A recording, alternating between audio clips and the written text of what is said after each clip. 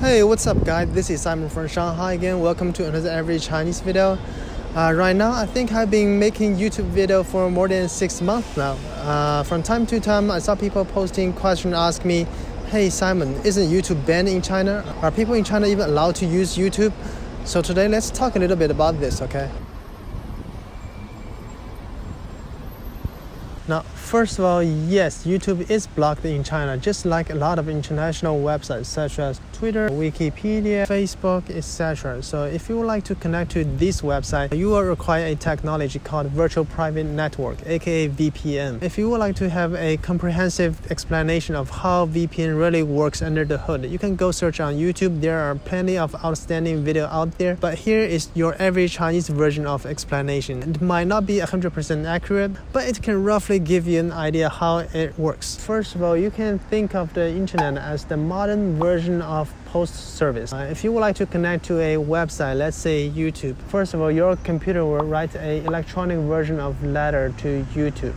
Then the letter will be sent to your local internet service provider, aka ISP. You can consider ISP as the modern version of post office. Then the local ISP will forward that letter to YouTube based on the IP address. Of course, there will be a million steps before the YouTube actually receive that letter because the letter will be forwarded to another post office, then a bigger one, then probably to a place which is in charge of international communication, and eventually reach to the YouTube side. And after YouTube receive that letter, it will opens it up and check what you have write in there. Let's say you want to connect to YouTube, so probably you will say something like, "Hey, YouTube, give me your homepage." So then YouTube will get their homepage, uh, break into pieces, put them into hundreds of letters because one single letter can only contain certain amount of data. Then YouTube will send those letters back to you. After you receive those letters, your computer will process them, combine them together, and display them on your screen. That's how things normally work. But here, things are a little bit different because in our local post office, there is a blacklist. So when our letters reach to the local post office, first of all, they will check whether the address that we are trying to send to are on that list. If they are, then they won't forward those letters for us. Then on your screen, you probably will see something like this. So now that's when VPN comes into handy. Uh, it is like a middleman. The VPN is like, send me those letters first, I will forward them for you. So uh, instead of directly sending letters to Google, you are going to send all these letters to the VPN server. When your letters reach to the local ISP, this time they will happily forward for you because the VPN server's IP is not on that blacklist. Uh, after the VPN server receive it, uh, he will resend it to the Google. The letter will also firstly be sent to its local ISP, but because its local ISP probably doesn't have a blacklist, actually, it probably also has a blacklist, but at least Google is not on that list. So Google will finally receive those letters and it will write back to the VPN server. Then the VPN server will forward them back to you. And that's how it works. The VPN is like a middleman to help you to communicate with Google which is banned in China. Uh, by the way, our original letters are encrypted, so even someone in the middle opens the letter and want to figure out whom we really want to send to, they won't be able to figure that out because all the information is encrypted. Uh, theoretically speaking, only the VPN server can decrypt that message and find out what you really write in there. Uh, of, of course, the whole process is actually way more complicated than that, and a lot of technology is involved, but that's my understanding of how it works. So instead of asking whether uh, Chinese can watch YouTube, the real question should be whether Chinese are allowed to use a VPN.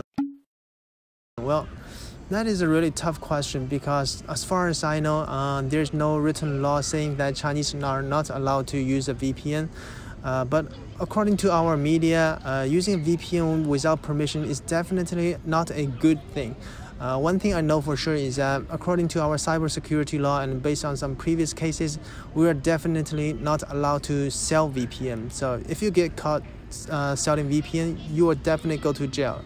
Now, generally speaking, uh, using a VPN to access international websites shouldn't bring you too much trouble uh, because actually in China, a lot of people really have that demand. Uh, for instance, as a software developer, without the real internet, you can access a lot of open source library, which are very important to your workflow. And as people working in academia, they also need to read papers from overseas website. And for people who are working in uh, international trading companies, they also need to chat with people from all over the world. Uh, not everyone is using WeChat, right? And even for people from one of our biggest newspaper, according to their chief editor, all of their employees are using the VPN because they need to read news from the outside world to write their news. And last but not least, pornography is completely illegal in China. and we have millions of single dudes, so you get the idea. Anyway, if we are just watching YouTube, reading some news from New York Times or Twitter, I don't think anyone is going to bother us. But it doesn't mean we can do whatever we want because, you know, it's China as long as you don't talk about those very sensitive matters, uh, you should be fine. And you can also have your own YouTube channel, Twitter account, Instagram. If you ask me, hey, is there a list that specify what we can talk about? I would say uh, no. Everyone kind of makes his own list based on his lifelong experience, and it is not very accurate. Actually, I don't think there is anyone able to tell you what 100% for sure, like what you can talk about and what you can't, because it is always changing. Uh, moving on, let's don't make this video too sensitive, okay? Uh, let's talk about something else. Uh, I think you guys may be curious about how many Chinese have the habit of watching YouTube. Uh, well, first of all, because YouTube is banned in China, so I don't think we can get a very accurate number. Uh, personally, I don't think there will be a lot uh, because most of my friends and colleagues around me don't use VPNs in the first place. And even they use VPN, as I've mentioned before, they use VPN for other purposes, such as code developing, reading papers, etc. And in China, we have a lot of videos platform as well. So for average people, they really don't need to come to YouTube. Even for a lot of Chinese living overseas, uh, they still use those Chinese video platform instead of YouTube after they move to other countries. So I would say maybe one out of a thousand watch YouTube. So uh, you know, we have a total population of 1.4 billion people, so maybe around 1.4 million people will actually watch YouTube. Well, that's just my gut feeling, so don't quote me on that. Although China doesn't have a lot of people using YouTube, uh, but based on my seven years of experience of using YouTube, I feel like recently there are more Chinese content creators coming to YouTube. Uh, most of those content creators were already making videos in China. Now they just upload their content on YouTube as well, uh, which doesn't add a lot of work to them, but sometimes give them an incredible amount of return.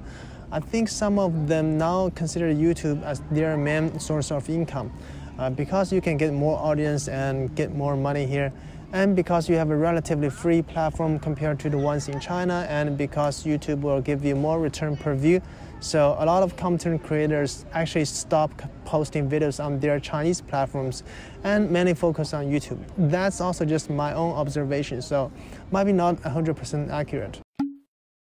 For my Western friends out there, uh, if you are interested in Chinese culture, food, and other China-related stuff, uh, here are several channels worth checking out.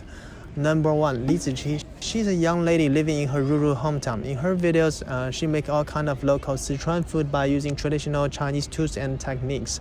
Uh, everything just looks so beautiful together. Uh, the food she made, the clothes she wore, and the scenery around. It is very high quality stuff. Uh, I never have seen a professional TV show can make rural China that beautiful, so definitely recommend.